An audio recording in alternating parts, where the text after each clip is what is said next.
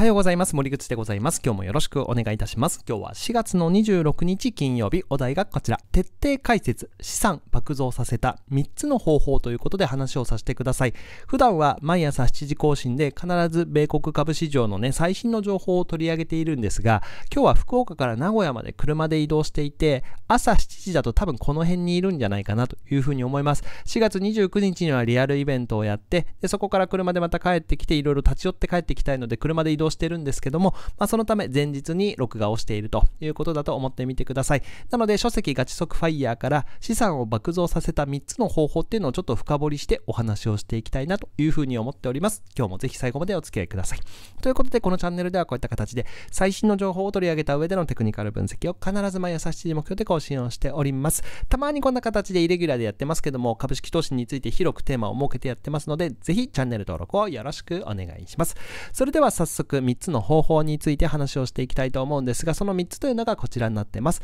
1つ目、マイホームの売却。2つ目、本命株の上昇。3つ目、入金率と株価の上昇ということで、この3つのタイミングについてお話をさせてください。まず1つ目なんですけども、これは株は関係ないですけどもね、まあお金には色がないということで、マイホーム売却時の話を少し入れさせてください。住居費の見直しはあなたの人生を変えるかもしれないというのが、僕の書籍ガチ速ファイヤーに書いてあります。詳しくはぜひ本の中身を読んでいただきたいんですが、ポイントとしましては、住居費っていうのは人生三大支出の一つなので、扱い次第で人生が変わりますよねっていうことを言っています。実際に僕自身が2018年に中古マンションを東京で購入し、また2023年4月に移住を目的として売却をしたんですよね。その時に約900万円の利益を手にすることができ、決して小さくないとても大きく資産を増やしたタイミングになったので、まあ、そのポイントについて解説をしてみたいなというふうに思っております。で、ここで解説をするのは、2018年家選びをしていた時の6つの基準というところを話をさせてください。順番にいきましょう。まず1つ目なんですけども、職場から近いっていうのをまず前提に選んでいました。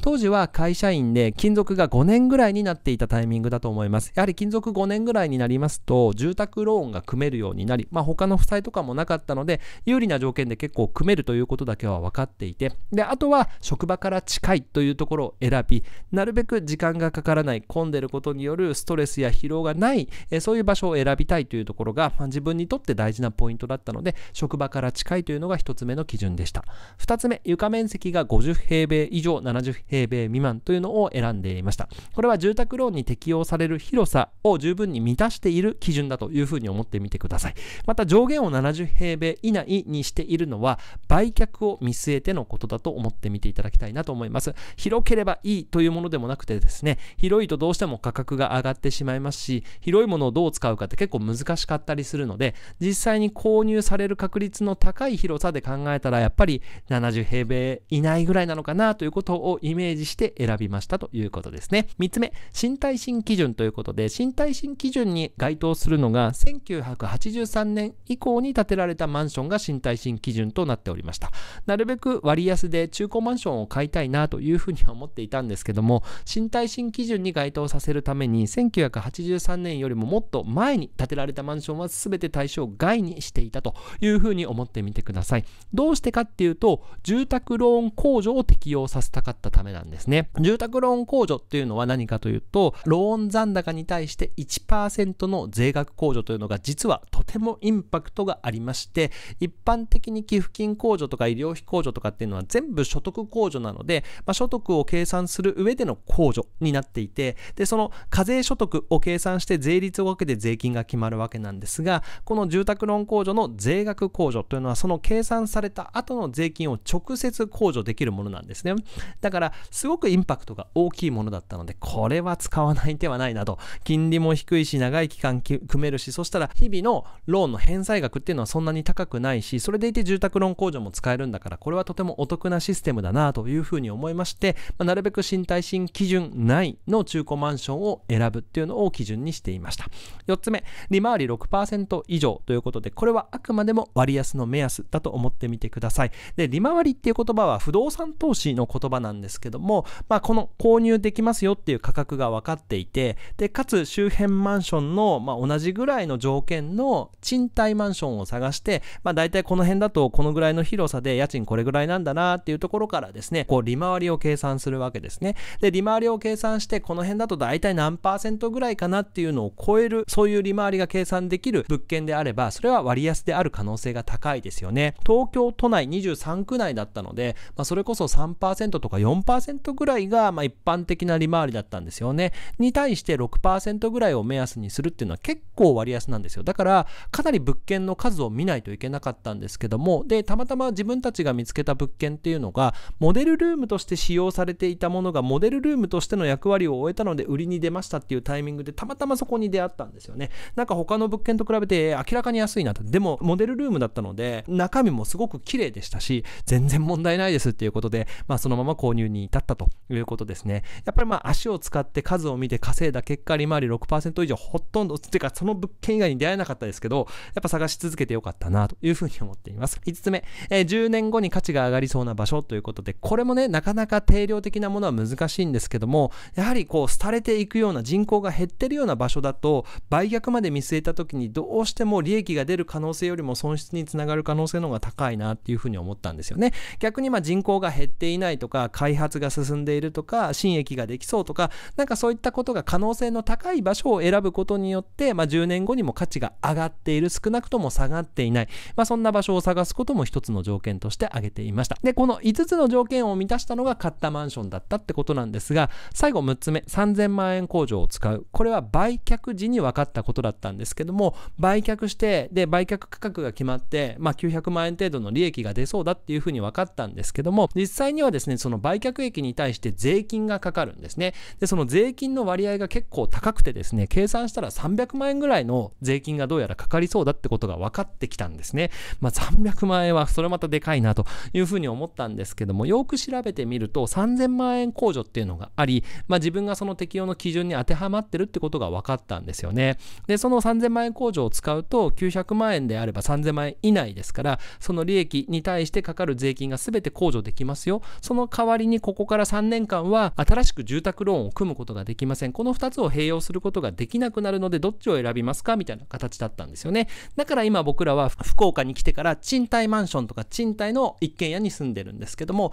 それは3年以内に住宅を購入してもですね、また住宅ローン控除を使おうと思っても使えないからなんですね。まあその3年後ぐらいにはまた新しい家を探したいな、なんていうふうに思いながらですね、まあこの基準を持って家探しをしたいんですけども、やっぱこういう基準があるかないかによって、この利益がそのまま残せるか残せないか、または利益が生まれるか生まれないかは全然変わってくるし、ものすごく住居費っていうのは規模が大きいので、扱い次第で1割変わるだけで本当に人生を変えるだけのインパクトがあるんじゃないかなというふうに思いました。ただこの基準を知るっていうのも一つなんですけども、今できることっていうことで誰でもできるアクションをこの本の中にも紹介しています。まず、マイホームを持っている方は、ぜひ査定を取ってみていただきたいなというふうに思うんですよね。査定を取って、今のマイホームの資産価値を知ることが、次のアクションにつながる可能性は大いにあると思います。仮に資産価値が買った価格よりも多いと、ローン残高を全部返済してもお金が残るということが分かれば、もしかしたら売却という選択肢が出てくるかもしれません。その売却益を使ってまた新しい住居探しにね、生かすことができるかもしれませんよね。で、実際にマイホームには住んでいない、賃貸に住んでいるっていう方もですね、ぜひ家賃交渉っていうのにもチャレンジをしてみていただきたいんですよね。家賃交渉ってやるだけはただのことだと思うので、リスクが全然ないんですよね。失敗したから家賃が上がるってことも基本的にはよっぽど嫌われない限りはないんじゃないかなというふうには思うわけなんですけども、一方、大家さんからするとですね、住んでる方が出てきますって出てってしまうと、次の入居者が決まるまでの期間の機械損失につながったりとか、クリーニングをしなきゃいけない、直さないなきゃいけないみたいなことが起こると、まあ、そこに対して費用が発生する。その費用を発生させるぐらいだったらば、家賃を少し下げてでもですね、長く住んでもらった方がお得だなって思えることもあるんですよね。まあ、そういったところで、上手にお互いの立場を考慮して交渉するっていうことができれば、僕の中ではですけども、いろんな家賃交渉に関わってきましたが、成功率は8割ぐらいはあるんじゃないかなというふうに思います。ぜひ住居費っていうのはしっかりと購入基準を持ったりとか、え住居費に対してしっかりと意識を高めめることで人生大きく変わっていきますので、ぜひ意識を高めてみてください。1つ目はマイホームの売却でした。2つ目、本命株の上昇という話をしていきたいと思います。本命株の上昇も事例は、まあ、いくつかはあるんですけども、本の中に載ってる事例として、ポートの事例を分かりやすくご説明できればなというふうに思っております。まず、最初にお伝えしておくと、本命株が上昇して資産が爆増するっていうのが、まあ、頻度としてはすごくもう本当に年に1回あるかないかとか、そんな形だと僕は思っています。まあ、それぐらいでも十分メリットはあるなということで続けているっていう形なんですよね。で、ポートもですね、そのうちのの一つなんですけども、2022年の7月にメタバースの関連銘柄として株単のトップページのテーマのところのメタバース開いた時に載ってたんですよね。で、その時メタバースを調べてみようと思って、その全ての銘柄の指揮法チェックをしたんですけども、ポートがやったら目立ってたんですよね。60%を超える利益成長率と12%を超える営業利益率と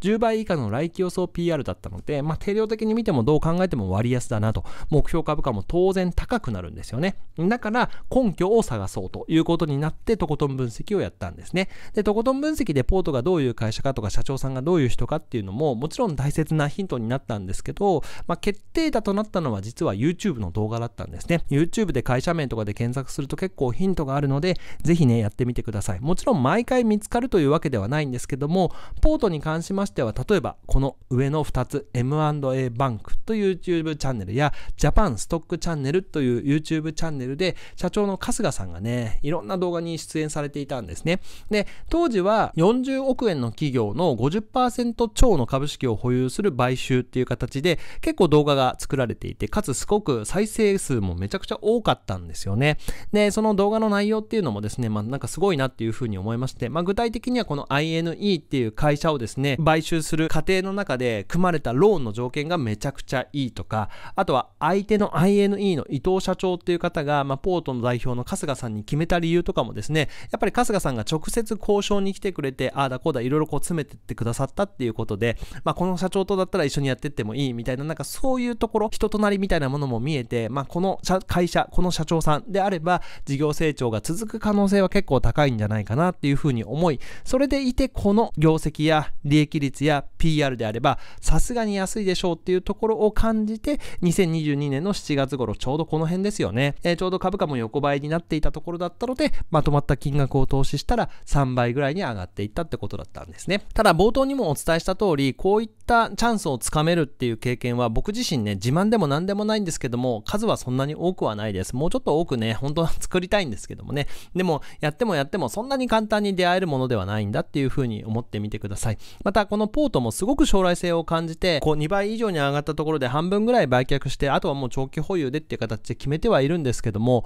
足元では52週移動平均線も割り込んできていて、まあチャートとしてはちょっと崩れてると言っても過言ではないっていう形ですよね。なんか当時の勢いから少し欠けてきたかなって感じは僕も持ってるんですけども、まあもうすでに半分売却をしているということで、まあ将来的にもうちょっと上がってくれればいいかな程度で持ってるんですけども、やっぱりその後の低迷っていうのも十分にあり得るんですね。本の中では例えば、オイシックスラダイチとか業務スーパーとか、あとはスノーピークとかも載せてます。で、スノーピークなんかはね、先日もう上場廃止にするっていうことで、MBO ではありますけども、まあ、そのような形ですごく低迷した会社もたくさんあります。だから、えー、本命株として選んで、ね、その時は納得できてもですね、ずっと持ち続けてれば必ず報われるってわけではないので、まあ、しっかりとした売買ルールがすごく重要なんだろうなっていうふうに思います。ポートに適用した売買ルールっていうのは、自分が投資をした金額に対して2倍以上に上がった状態で半分売るっていうことに対して、まあ、半分売ってしまえば残りの半分に対しては、ポートの株価が仮にゼロになったとしても、ポートの売買で損することがなくなるので、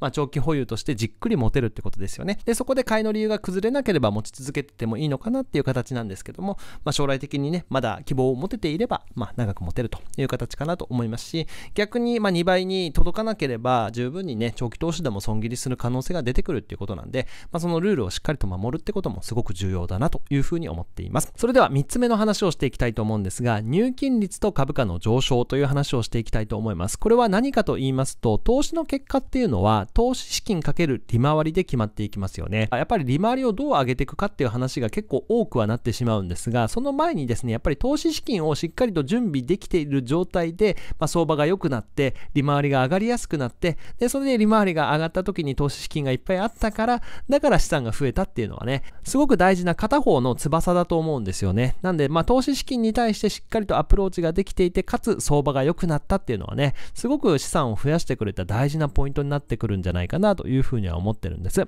だからガチ速 FIRE っていう本を書いたっていうことでもあるんですけども、やっぱり収入をちゃんと上げていこう、家計管理をして入金率、支出を最適化して入金率を上げていこうっていうのはね、すごく重要な要素に入ってくるんではないかというふうに考えているんですね。で、で現状本当にありがたいことに、この YouTube を見てくださる方が多かったりとか、音声配信の Voicy をやっていたり、ノートの個別銘柄をとことん分析するマガジンをやっていたり、ウェブの掲載をさせていただいたり、本を出版させていただいたり、講演の依頼を受けたりとか、個人でイベント開催をするなど、収入派の柱っていうのが複数僕の場合には立つことによって、収入全体がぐぐぐぐっとここ数年間で大きく上がってきていたんですよね。それに対して支出なんですけども、そんなに大きく変わらなくて、先日ちょうどマネーフォワードであなたに似たユーザーとの比較で見たらすごい半分ぐらいだったんですよね。あ、うちって結構ね、まあ貧乏症だっていうのもあるんですけども、結構支出は少ない方なのかなというふうに思いました。まあその分を運用に回していてですね、大体まあ40から50%ぐらいのね、入金率に上げることができているんじゃないかなというふうに思います。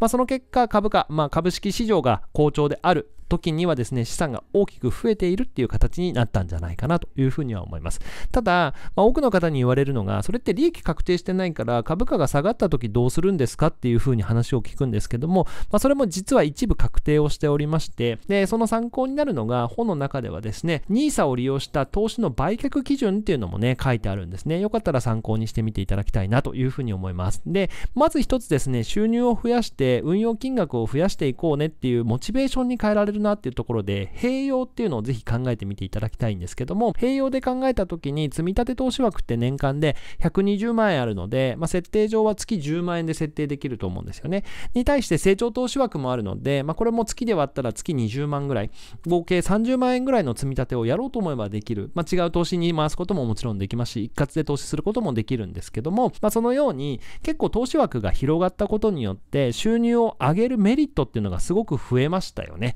だからやっぱり収入を確保するっていうのはすごく大事かなというふうに思いました。また枠の再利用が可能になるということで、新しい投年になったら枠がね、売却した分は復活するんですよね。それがなるべく高い時に売却をするメリットに変わっているんじゃないかなというところで、2つの基準を設けているんですが、資産運用シミュレーションの結果を大きく上回るタイミングや、含み益の利益率が20%を超えている状態の時っていうのは、売却を検討してもいいんじゃないかっていうふうにしていて、で、実際にですね、まあ、僕自身が旧 NISA の分も含めてなんですけども、一部もう、やはりこれだけ株価が好調でしたので、えー、実際に利益確定を行っているんですね。で、利益確定を行った分だけ、やっぱりこの新 NISA の投資の源泉になっていて、で、その投資の源泉として成長投資枠等も含めまして、そこで再活用することによって、なるべく今までの福利効果を失わないように気をつけているっていう形なんですよね。だからまあこういったことも含めまして、利益確定もじゅんぐりじゅんぐりやりながら、えー、ダメな時にはちゃんとね、時間分散して積み立て投資がされていき、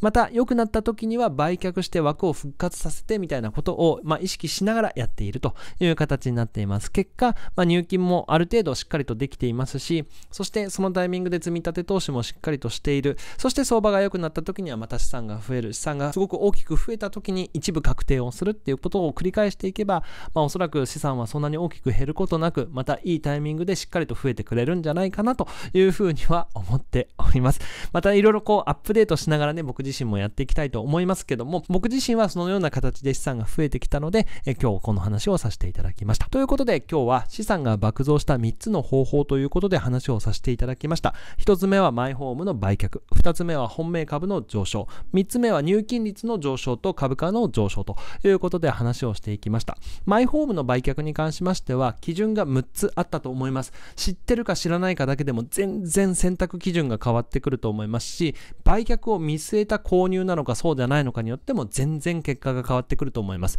もちろん売却を見据えないで一生住むという形でその価値に見合ったものを購入するっていうのも一つの方法だと思うんですが、それがもしないんであればやっぱり売却前提で購入する、投資視点で物件を選ぶ、割高なものはつかまないようにするってことはすごく重要かなというふうに思います。また、マイホームをお持ちの方は里を取ってみよう。賃貸にお住みの方は家賃交渉をしてみようというご提案もさせていただきましたね。本命株の上昇に関しましては、やはりなるべく多くの金額を投資した銘柄が上がると当然資産が大きく増えるという話をさせていただきました。ただそこに実際に自分が持ってその上昇の恩恵を受ける機会がなかなか多くないので探し続ける必要が出てくるかなというふうに思いますし投資ルールとしてすごくいいなっていうふうに思っても崩れていく銘柄もあるので、なるべく売買ルールっていうのは徹底してやっていくってことがすごく重要かなというふうに思いました。最後入金率の上昇と株価の上昇ということで相場が上がるときに入金力を持っている入金されてる状態を作ればそれは増えますよねっていう話になってくるので